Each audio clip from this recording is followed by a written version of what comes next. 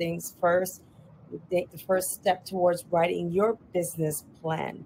There's plans uh, throughout life. Mm-hmm. There's vacation plans, wedding plans, right? There's career plans, and then there's a business plan. So, what's holding you back? A business plan. Yes. What is holding you back is your failure to plan. Exactly. Uh, let's let's do the um, you know the actual putting pen to paper mm-hmm. because mm-hmm. the pen is mightier than the sword. Come on now. The pen is mightier than the sword. When you write your vision and yes. let it be known, yes. there's something that activates your subconscious. There's something that connects and you're taken seriously. You take yourself seriously mm-hmm. and you read it and know it. It's a live document. As you are alive and breathing, so is your business plan. And we'll talk about how organically your business grows. And so your document needs to be updated from time to time. So let's get into it and turn to first page. All right, let's go. All right. So protect your business. Mm-hmm. Different ways you can protect your business is you can uh, have a patent, copyright, or trademark. All right. So, Christine, so what's the difference between the three? Okay. So let's start with the patent. Mm-hmm. Patent is an exclusive right granted by the state or province for the protection of your invention. Oh. Very important. Okay. Invention invention. What have you invented? Um, there's so many inventions around. Most, you know, one of the household inventions is iron board.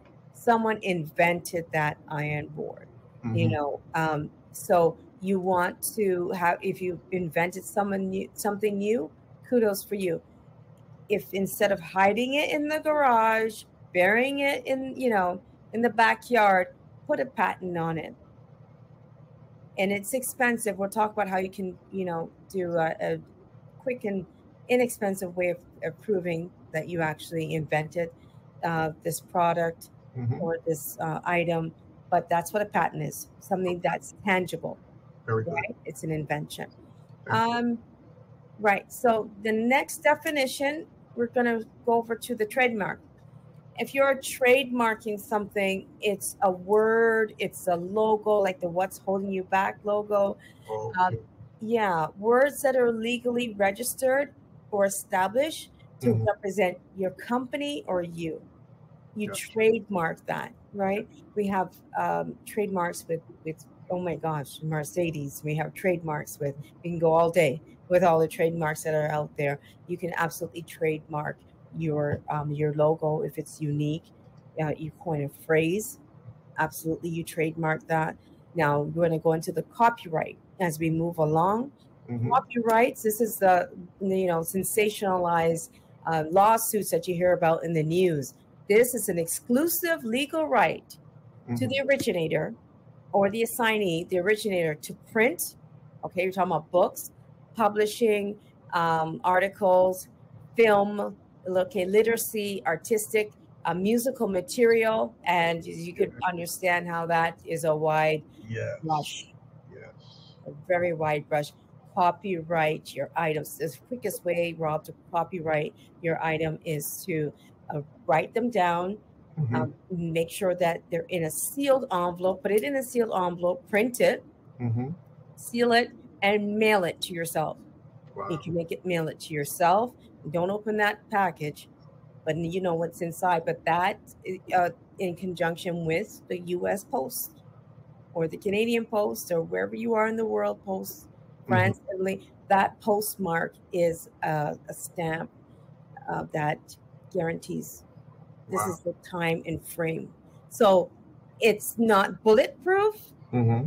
but it's something it gives it some legitimacy. While while you're you know that these these patents, copyrights, trademarks, are they're they're they're not uh, in no means um, inexpensive. They they do cost. Right. If you have something, you're onto something. You know that it's unique and it's yes. a gift yes. from God. that Mhm. it's and that's, that's something you want to protect. Absolutely. It's worth that. So you go ahead and mail it to yourself. Okay. Um, if you're, yeah. All right. Thanks for sharing that. Update, update, update, Mhm. update, update, update the plan. You have to be agile. All right. Sometimes the wind will blow that way. You got to be agile. I don't know how to navigate that. You know what I'm saying? Right, right. So, so when you when you start a business, it's like when I'm watching Cool Runnings. You ever watch that movie Cool Runnings? And Yes, I did. they're all bobsled team. yes, uh, bobsled, Right. the Jamaican bobsled team. So they're they are in this tunnel of ice, and the curve is coming. And as the curve comes, you gotta you gotta do that angle. Right, right. What happens if you don't do it? Uh, you're off the tracks. There you go. You're off the tracks. So keep on track by updating your business plan because Gotcha. your business will take off, especially if it's good. Is your head will spin Mm, for how fast it's going to grow, and that's a good thing. of course. Okay. Mhm. So next page. Components of a business plan. So let's get into it. Right. Executive summary. We're going to revisit the executive summary at the end, and now follow me. It's the app. It's it's a summary. That Mhm. first page of your business plan is the executive summary. Right after table of contents is executive summary. And so folks is going to folks who read that to take the time to even say, "Oh, I'm going to I'm going to read Rob's executive summary." You got to be able to catch them. So the executive summary is written last, and I'll tell you why at the end. Although it's the first page, you're going to write it last. Gotcha. So we're going to park that. Go to the next page, business description. The business description is not always what you might think. Um, it's what started out with you. Yes, you had the idea, but your customers will tell you the purpose of the business. What it means to them is important. So combine what you what you started out with your idea and combine that with feedback from the customers, meaning that you're, you're going to write a business plan with some feedback of what does your gluten-free chocolate chip cookies taste like? Okay. um, not only what it tastes like but how does it make your customer feel? That's very important. The outcome the purpose of Mhm. your product that um, motivates investors and also will motivate you as well right? Um, so i hope that's clear Yes. Cool. Okay. Awesome. All right. So, target audience. Well, uh, you're starting from scratch. You visualize who do I want to serve? Yeah, your business is a service. Whether you're you're making cookies, whether you're providing a product, you're serving. Mhm. So, in your service, who do you want to serve? You know what? I want to serve um, senior citizens. Mhm. Actually want to entertain senior citizens. I I think that's a, a great idea. So then you know your your demographics or ages X to Y, your um, genders, right? It's just male, female, whatever gender you identify as. Mhm. You you have a, a honing of the dem. Okay, so what's the area? Okay. Where do these senior citizens live? Is it a private home? Is it an estate? Where do they where do they live? And then you you go into such deep details um, of knowing what do they have for breakfast. Sometimes the, the target audience analysis, Mhm. Rob gets really deep. You know, my customers get up at 5 a.m. They work out. You know, they they drink lattes, short lattes with extra foam. That detail as much as you can right. with the target audience, and um, that helps out. Uh, Next slide. All right. Before we go to the next slide, let me ask you a quick question. So, if if I if I hired you to do my business plan, right? I'm I'm the business owner. Uh huh. So, who's responsible for gathering this information information when it comes to the demographic research? Demographic research comes directly from the client's heart space, who they want to serve. Now, Mhm. sometimes who you want to serve, who you thought you would be serving, is totally different when you get into the business itself. And that's why the business plan is a live document and it, it will um, change. You have to go agile with, with the curves. Case in point, someone who has a mobile barbershop Yes. Mobile barbershop, you think you're servicing um, adults. Hmm You know, they, they're, they're too busy to, to actually go into the barbershop and wait. So they make an appointment. You drive up, and here you are um, into your mobile barbershop. But guess what? Ends up that you're servicing their children as well. Oh, So then you end up having um, barbers that will service adults and then others that will service the kids because they're in the house. They need a haircut too. But your idea was to really service the dad, gotcha. right? Or or the mom if they, they have a short haircut. But what I'm thinking is, to answer your question, it's really the heart space of the client that I hone in on and then we expand and do some research. I encourage them to hire a marketing firm, someone who's going to support them with, with really getting into um, the nitty gritty. Okay. Well, Steph, Mhm. thank you. Marketing and sales plan, love it. So, chicken or the egg, which comes first? You, you have marketing uh, in order to promote sales, or is it sales that really, you know, helps out the marketing? Because the more you sell, the more popular it gets, and the marketing is needed.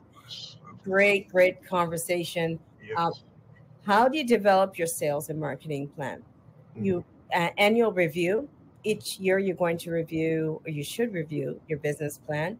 I think it should be, um, at this point, it, there should be some change. Shouldn't be status quo. Hopefully not, as Right. you know you're growing and evolving. Um, Okay. quarterly assessments, quarterly assessments of your sales and marketing. You had your targets. Okay, last quarter we did this. Did we over? Um, you know, did we go over our target, under target? we on target? Uh, that's very important, and to find out the why. So market changes leads into the why. If you're bang on and you have you met your quotas, market um, changes still need to get ahead of the curve, right?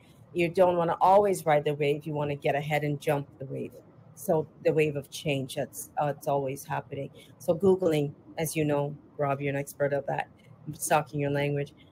So the um, the fourth step is product launches. So Mhm. how do you launch the product? When do you launch the product is very important. So how and when. So your your marketing analysis will find out, um, help you find out. You know, not necessarily a competitor, but there is um, businesses out there that will complement yours. Is there a huge convention happening that Right. you can leverage off of the audience, everyone in one spot, where you can actually um, have a booth or something like that. So strategic planning is very important, um, and again, the owners have to, uh, the business owners have to be engaged in in that um, as they are signing off on a lot of these expenses as well. And business expansion, um, huge, and that's the goal to expand the business. And I'm just going to speak two seconds about hyper growth. Hyper growth. If you ever heard about it, then Google it and let us know what you if you've experienced it. There's um, I guess it's um, my two seconds. My two seconds are up. Never mind.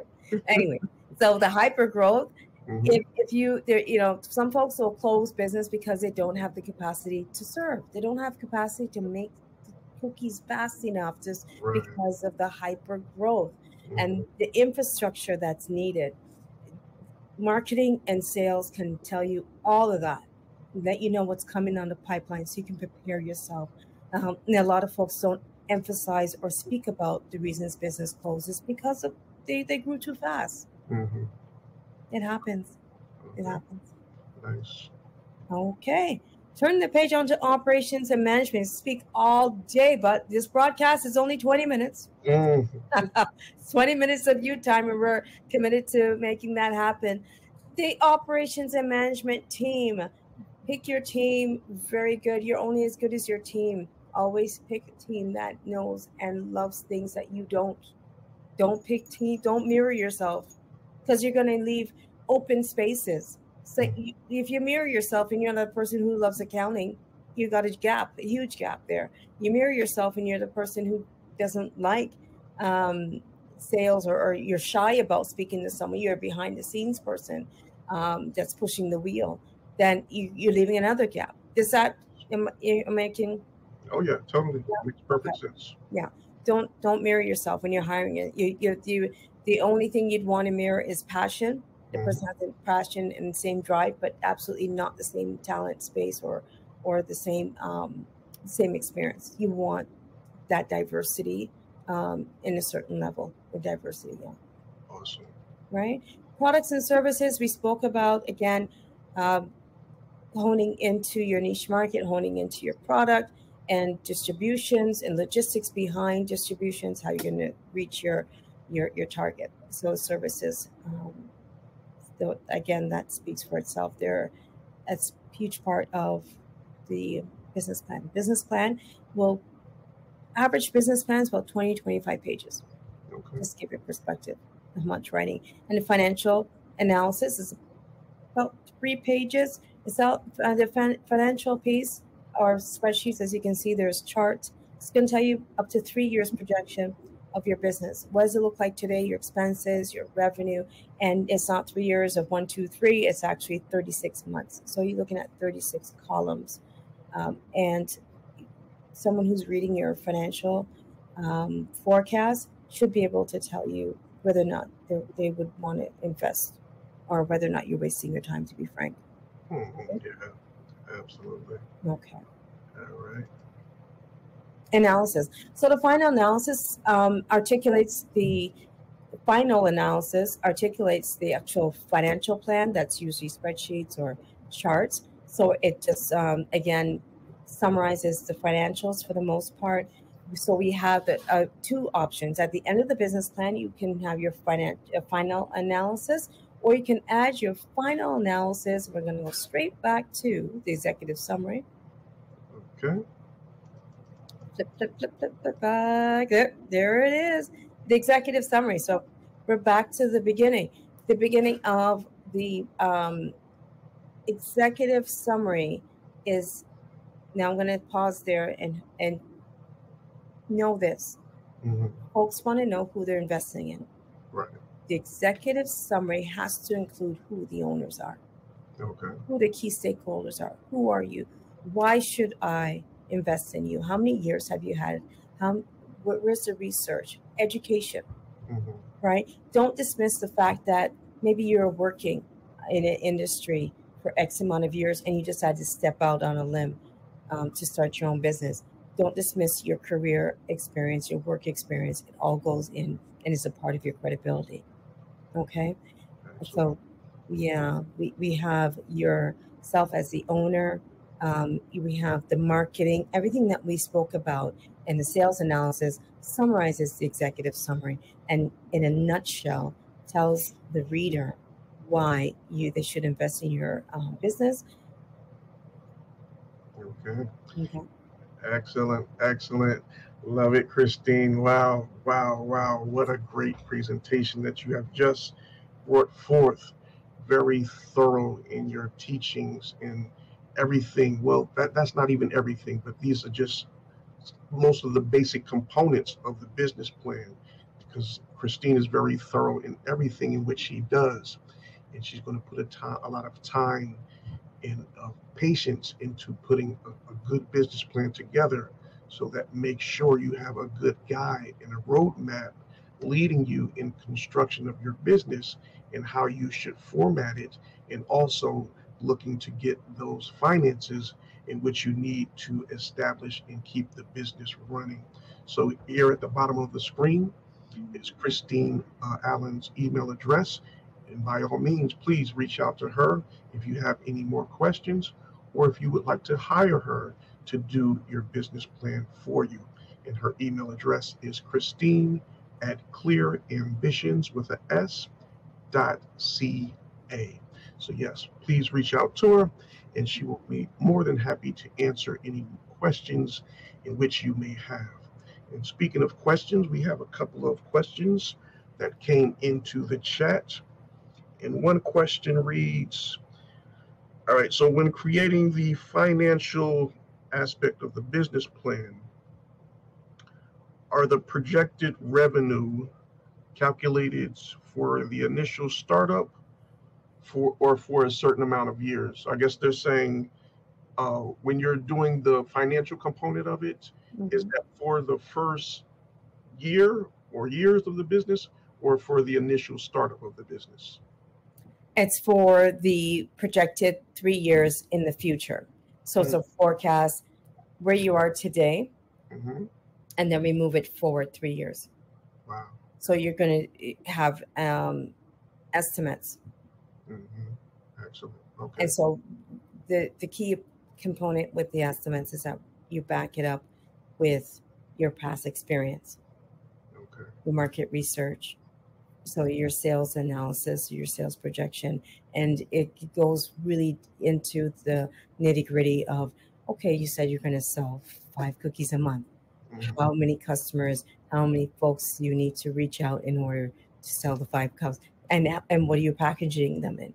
Is it Ziplocs, or are you actually going to get boxes? Mhm. How you packaging? What's that cost? It's it's that, and this is where The business plan. You're talking about plan to fail, uh, plan to succeed, or plan to fail. This is where the business plan really um, gets you thinking. Yeah, because it's going to help you point out all those little things that you never might have thought about, but they're going to be expenses at the end of the day. And if you don't have that calculated and know what your final expense is for your product or for your service, then how are you going to get the right price when you go to send it to the market space? You may be undercharging where you're not seeing a profit so that, that you're selling your products or your services you're not getting anything from it. So that, that def- defeats the whole purpose. So yes, great, great, great uh, information, uh, Christine. That's a great question. Yeah, yeah, it was. So yeah, keep the questions coming. Uh, we are already over time, but uh, we will come back into the chat and Christine will answer those questions for you.